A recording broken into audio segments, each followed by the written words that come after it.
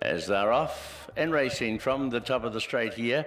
They break out fairly well. Uh, going forward is Thomas Aquinas, as to Kahu Rock, and here's Carpe Diem in the yellow cap coming forward, and Kingfisher Lad, the top, he wants to roll a bit as well, and Luridge the widest.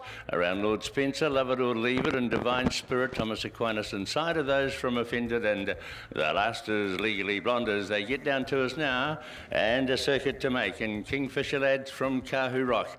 Luridge three out here, around Carpe Diem as they run out of the straight 1600 metres to go. Back behind that, Thomas Aquinas on the inside.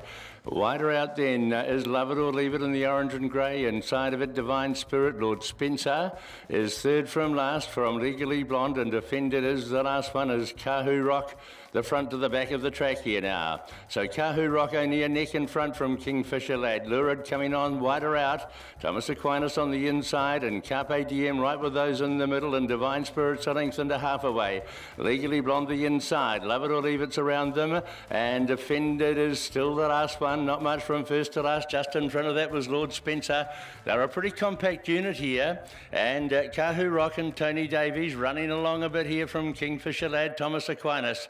Carpe Diem ready to go. Luridge wider. Legally Blonde and Offended is uh, sneaking up on the inside from Divine Spirit, Lord Spencer and Love It or Leave It as they run across the top here now. They've got 700 metres still to travel. Kahu Rock, Kingfisher Lad and Offended as they come down the side now. From Carpe Diem goes after them. Luridge under the pump here. Legally Blonde the inside. Thomas Aquinas. Further away then Divine Spirit, uh, Love It or Leave It and Lord Spencer's the last as Kingfisher lad took over, went for gold coming towards the home corner here. Kahu Rock raising another effort and Carpe Diem is coming around the outside with a good run and Offenders back in behind them. Still Kingfisher lad. Kahu Rock over on the outside's trying really hard, but he's in front by a length. Now Carpe Diem starting to knuckle down. Kahu Rock going after Kingfisher lad. Carpe Diem starting to close off really well on the outside and Legally Blonde runs on on the inside. Carpe Diem and Kahu Rock down towards the line. They hit it.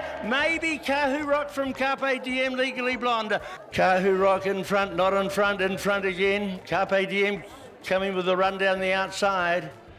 But Kahu Rock for Roger Allan and Tony Davies, I think, just come back to grab Carpe Diem. Gee, this was good. This was very, very good. It was well into the line, and uh, the Opaki trained Kahu Rock for Roger Allan grabs the last of the day.